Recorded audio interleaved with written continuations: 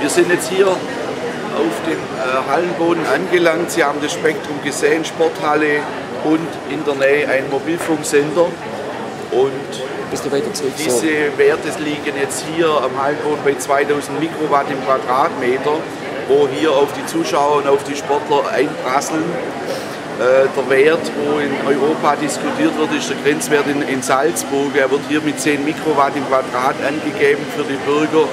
Wir als Elektrobiologen oder Baubiologen fordern 0,1 Mikrowatt im Quadrat. Das heißt, wir haben hier in der Halle die 200-fache Dosis, äh, die auf Menschen einprasseln können.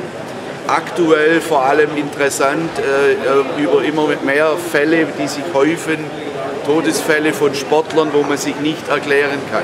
Hier ein Denkanstoß zum Mobilfunk, äh, äh, zu der Mobilfunkwelt.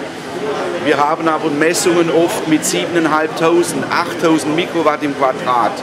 Ist keine Seltenheit, vor allem in Ballungsräumen wie in Stuttgart, in Großräumen finden wir das häufiger an.